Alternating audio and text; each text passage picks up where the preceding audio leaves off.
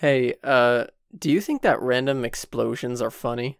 Hmm, I don't really know. How about we let them decide? Okay.